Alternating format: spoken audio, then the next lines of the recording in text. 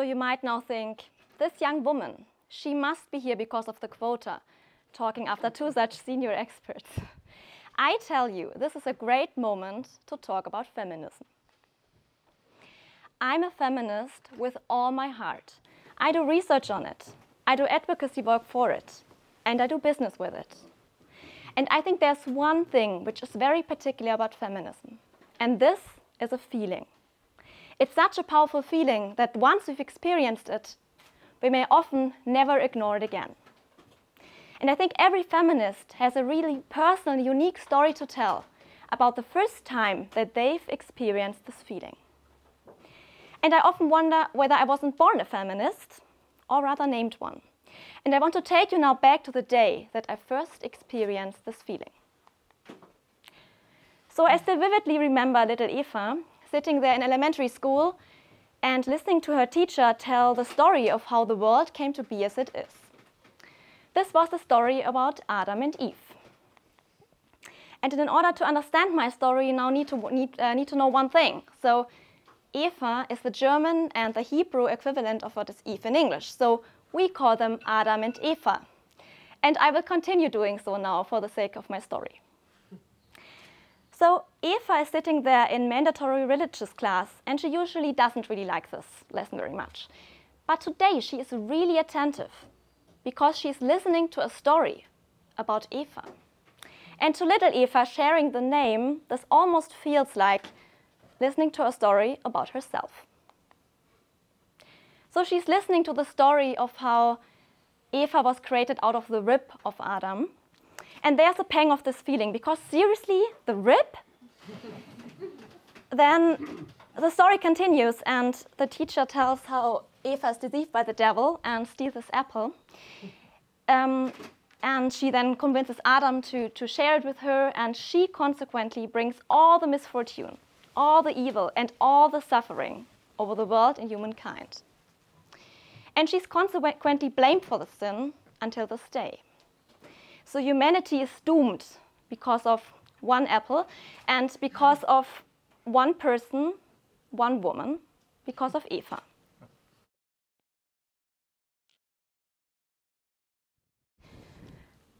So to little Eva, this felt distinctly unfair. How could she, or for this, any, for this matter, any other woman, be singularly responsible for all the bad that was happening in the world?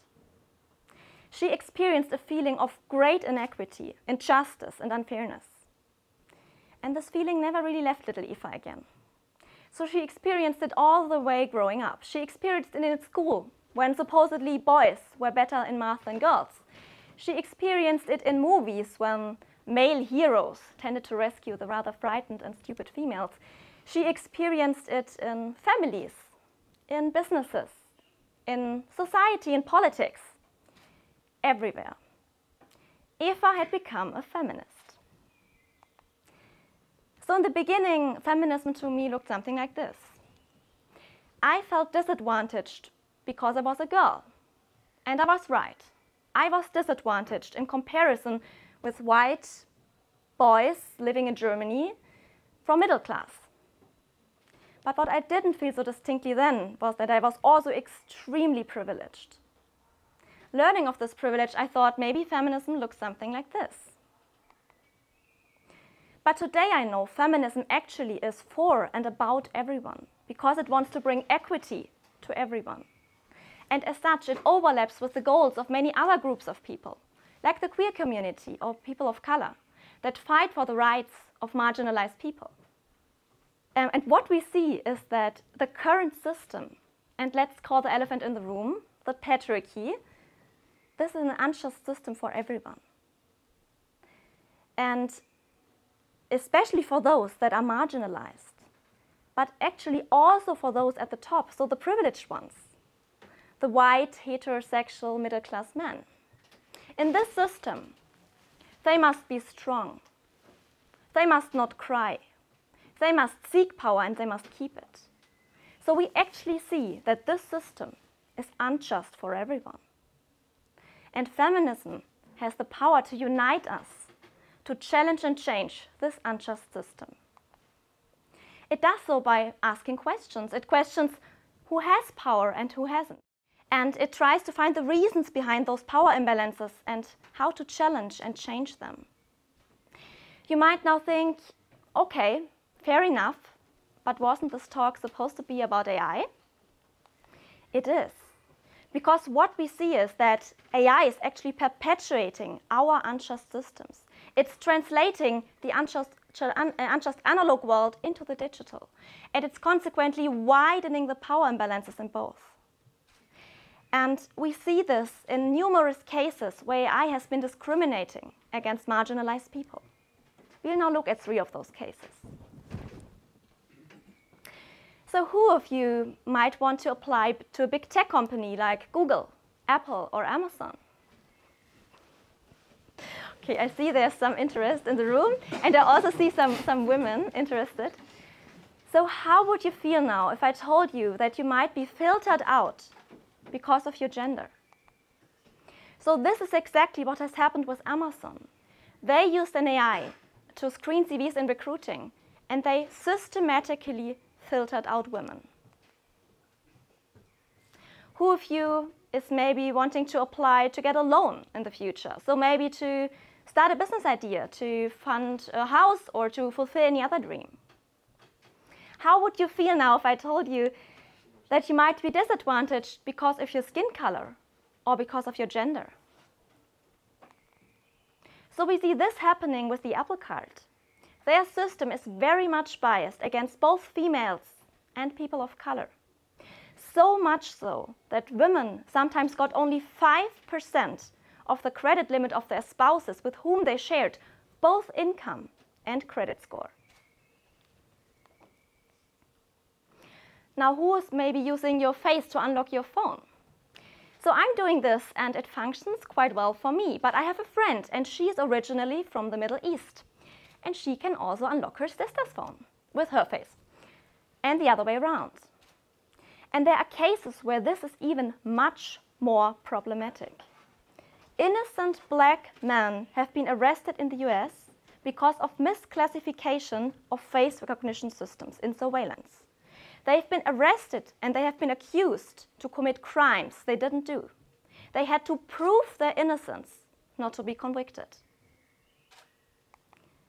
So I'm sure you also feel that this is unbearable. And this is the feeling I was talking about. So as a researcher, I want to do something about this. And I start by looking at the reasons. And I believe there are three main reasons. And these are data, people, and context. So firstly, the data. AI is trained on large data sets, data sets with data from the past. And this also includes human decision making from the past, and also their biases and missing data. Now looking at the Amazon case, we see that they trained their system on their own data from the past. Now, Amazon is a tech company, and this unfortunately means they are mostly men. So they trained their system on data which incorporated mostly men, and consequently, their system learned that men are the better tech employees. And I brought a small example for you to show you how strange and biased data can be. So I was actually looking for photos of human beings for this talk, and I was looking on a free database for photos. So I typed in Mensch, which is the German equivalent of human being, and watch what happened.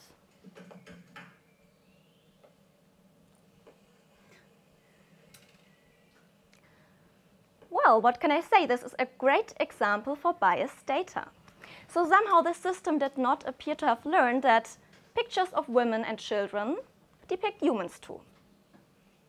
This shows the importance of how we label data because AI doesn't know that these are pictures of human beings. It needs to be taught. And in this case, the teaching does not seem to have included sufficient diversity, or maybe none at all.